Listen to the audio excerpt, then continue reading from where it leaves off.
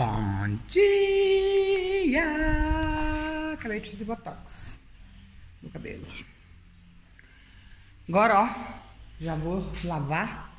Mangueira já tá ligada aqui, ó. Vou colocar vocês aqui no cantinho e vou trazer vocês para trabalhar junto comigo. Vou começar aqui pela cozinha. Bem sujo. Só tem que ficar esperto com o meu telefone aqui, não vazar lá no chão. Ele é pesado. Vou jogar água primeiro. Depois eu esfrego um pouquinho.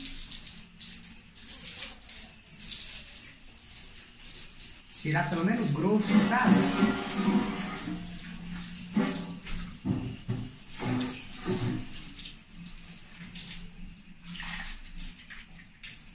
E aí eu vou dar uma acelerada, tá, gente? Porque senão, né, aí fica Freud.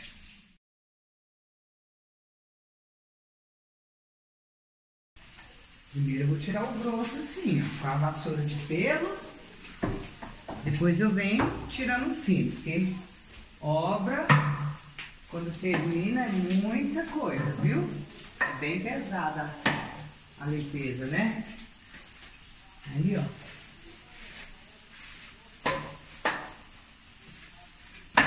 Uma olhada na, na, na parede. já esparramei papel. Ah, papel não, gente. Meu Deus do céu. Papel higiênico não, Cacá. É sabão. Em pó. A pessoa trocar papel higiênico por sabão em pó. É foda, hein, meu irmão? Como eu esperei por este dia. Meu Deus do céu. Eu tô com uma buchinha aqui, ó. Depois eu vou ali e tiro o que tá agarradinho.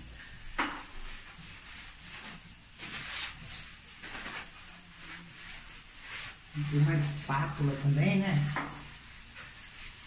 Já já meu sobrinho vai subir pra me ajudar.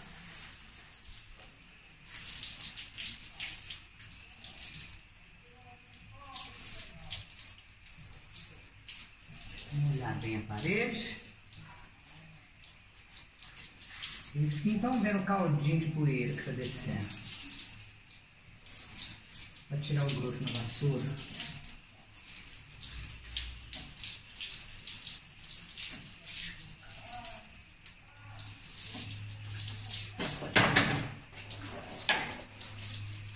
Acabei de fazer meu cabelo, gente.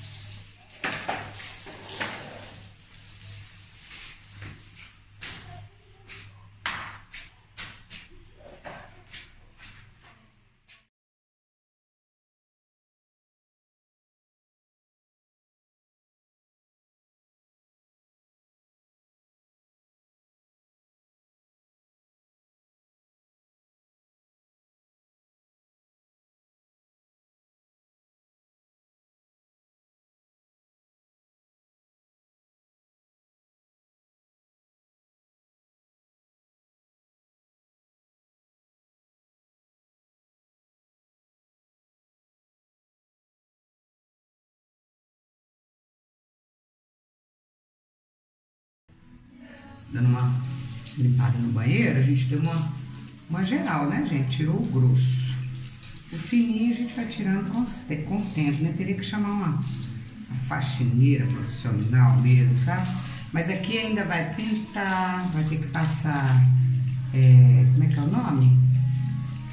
Há um produto que passa antes na parede, depois vem com a massa corrida, que eu vou passar no rolo, depois vem com a tinta. Então a gente só tá tirando mesmo o grosso de resto de obra bruta. Que aí eu já posso colocar minha, algumas das minhas coisas aqui. Cozinha e banheiro estão prontos, né? Então eu tô dando uma limpada. Eu e meus sobrinhos, meu sobrinho. Tiramos o grosso, tá vendo? Assim. Bem práticozinho para limpar. Sem muito não me toque. Vou comprar produto específico para limpar a bancada, que é de madeira, né? Tirar essa roceza de, de obra. Nossa, tem música aqui. Será que Robozinha, você tá escutando a música, robozinha? Parei a tal da música do meu sobrinho, porque senão a robozinha vai me, me ferrar. Olha, gente, o vaso que nunca entope e nunca quebra, tá? Ele não é de grosso, ó. Ele é de um material que eu não sei te falar, tipo plástico. Presta atenção lá nesse buraquinho do vaso, onde fica a água. Vai abrir. Abre, abre, abre. Três tacadas e vai tudo embora. Você pode jogar uma toalha de banho ali dentro, que ela vai embora. Muito bom, muito bom. Ah, em loja física ele custa 3 mil reais. Eu comprei no Mercado Livre por 1.180, se não me engano. No Mercado Livre. Pode pesquisar aí que vocês vão achar. Até na você que lá Magazine Luiza, sei lá, vende ele terceirizado, sabe? Coloca assim, ó, vaso que nunca entope no Google que vai aparecer para vocês, tá? Se aparecer que as coisas de 200, 300, não é isso não, viu? Nunca entope e nunca quebra. Dá uma limpadinha aqui no box.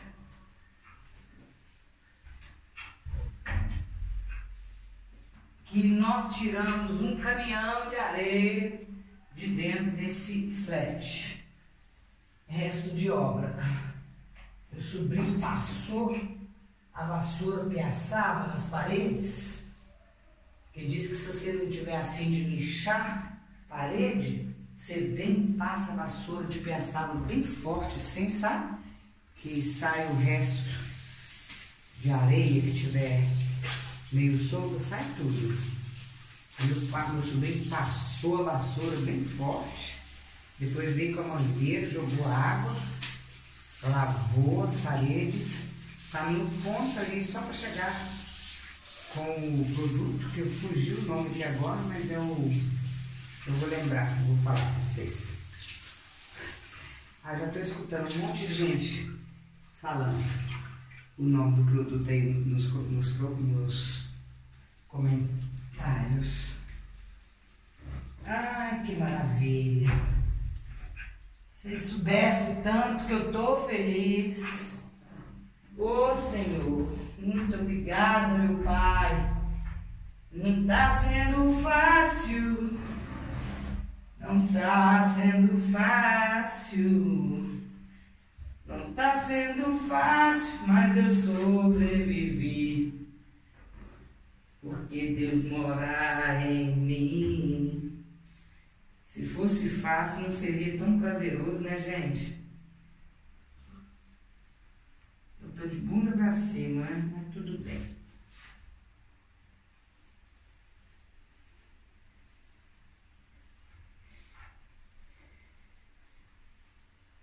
Depois vem, tirando o fino, que o grosso já foi.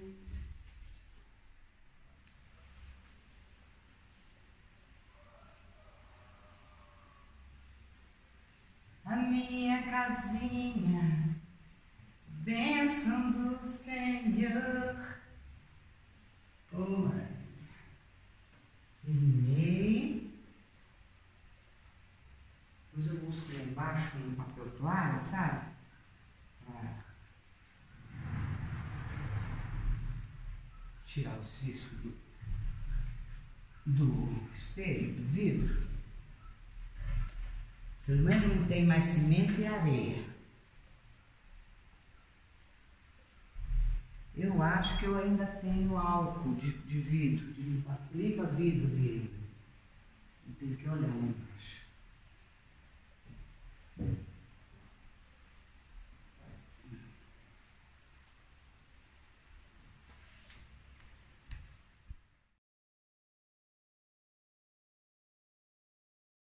Meu sobrinho chegou ali e falou: Hum, tá cheiroso demais, que cheirinho gostoso. É um desinfetante que, eu, que tem aqui no Brasil que eu gosto muito. Vou mostrar pra vocês. A casa fica num cheirinho tão gostoso. E olha que ele é baratinho, não é caro não. Terminado. luta. Não gravei nem 15 minutos, viu? Nós ficamos aqui umas... Ah, nós ficamos umas 3 horas limpando aqui. Isso porque tá vazio. Agora, o próximo passo é limpar as janelas, que nós não limpamos, nós só, lá, só jogamos a água, né? E passamos a, a vassoura de pelo para tirar cimento, areia e tal. Tem que passar o limpa-vidro direitinho. Essa pedra aqui deu trabalho, não queria desembaçar de jeito nenhum, por causa do rejunto, né? Que uso, me desembaçou, ó. Ah, melhorou 90% já. Agora o limpa-vidro faz o resto. E trazer minhas coisas que estão todas jogadas na varanda e tá ameaçando chuva. E se chover, vai molhar meus colchões, minhas roupas de cama, meus, minha mudança, né, que veio do apartamento. Já tô vendo gente falar assim, Cacau, você tá com a voz triste. Não é tristeza, é cansaço, tá? Mas é um cansaço tão, mas tão gratificante. Vocês não têm noção. Fico até emocionada. É tão bom. É tão bom você olhar para isso tudo, lembrar de cada dia, de cada perrengue, de cada herpes no rego, de cada psoríase. E saber que ao longo desses dois anos e meio, mais ou menos, que eu estou construindo, quantas vezes Deus fez um milagre acontecer, fez um vídeo explodir, nas visualizações, que ajudava cada vez. Lembrar cada um de vocês que clicaram, que deixaram a propaganda rolar, que clicaram na propaganda, que deixaram a playlist rolar inteira para me ajudar. Não tem preço. Lembrar da, da agência Atlantic Riser em Zurique, meus parceiros de 26 anos, que é quem faz os envios de dinheiro para eu pagar meu pedreiro, marceneiro, carpinteiro, depósito. O povo de Deus, quando se une, é para isso aqui, ó. É para construir, é para construir, é para realizar sonhos. O povo de Deus se une para isso, ó. O povo de Deus jamais se une para destruir nada e nem ninguém do bem, né? Vou ficar por aqui, tá? Eu vou só, tá vendo que a, que a cerâmica tá meio, meio úmida? Eu vou só passar aqui, ó, um pano seco, tá vendo? Vou até passar em câmera rápida, pra vocês verem que eu vou passar um pano seco, pera aí. É esse aqui, gente, ó. Bata, batuta, lava, é, cheirinho de lavanda. Batuta, proteção ativa. Elimina germes e bactérias. Hum, mas tem um cheirinho gostoso de lavanda. Eu amo. Meu sobrinho, eu desci para buscar um não sei o que. Meu sobrinho falou assim: hum, o cheirinho chegou aqui embaixo. Pronto, gente, ó. Briando. Só falta mesmo limpar. Lavada elas já foram, né? Mas fica manchada, passar o álcool nas janelas. O banheiro também, só falta passar o álcool nos vidros e no espelho. Parece que vai chover. Tá uma ventania lá fora, então eu já vou fechar pelo menos as janelas do, da cozinha do banheiro aqui, porque elas, se chover, é, é mole aqui dentro. As outras não. As outras não molham não, porque a gente fez um beral no... A gente fez um beral no telhado de 80 centímetros. dei um corte no meu dedo, arrancou uma lasca no meu dedo, porque eu, eu meu sobrinho ligou a música. Aqui, ó, isso aqui quebrou, ó. Eu fui puxar, eu não sei se já tava quebrado, o que que aconteceu. Eu sei que eu só encostei isso aqui, ó, quebrou, ó, e rasgou meu dedo. Grande porqueira de material, né? Bom, acabou! Que glória a Deus, tudo limpinho, no ponto de pintar. Que alegria, vocês nem imaginam a minha alegria. Tá vendo, gente, o beral do telhado, ó?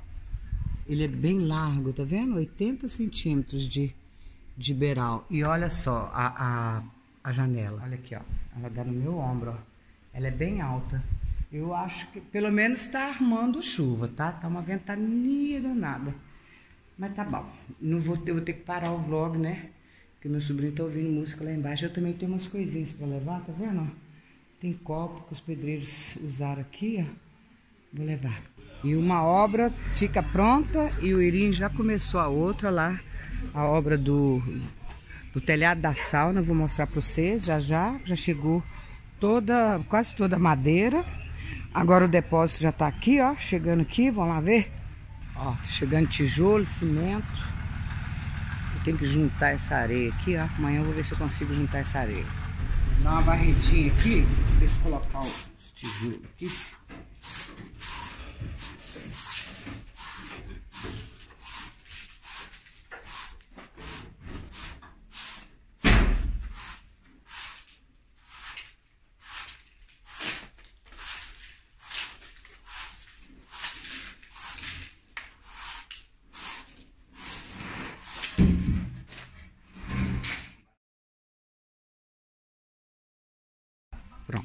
Varri tudo lá embaixo.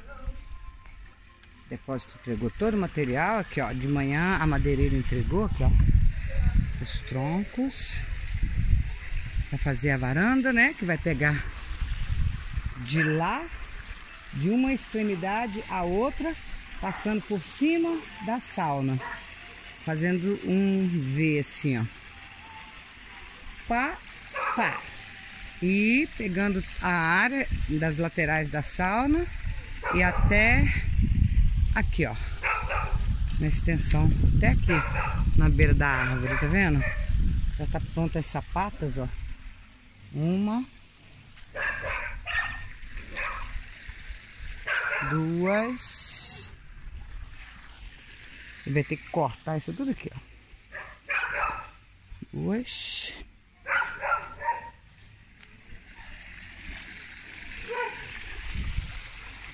Três.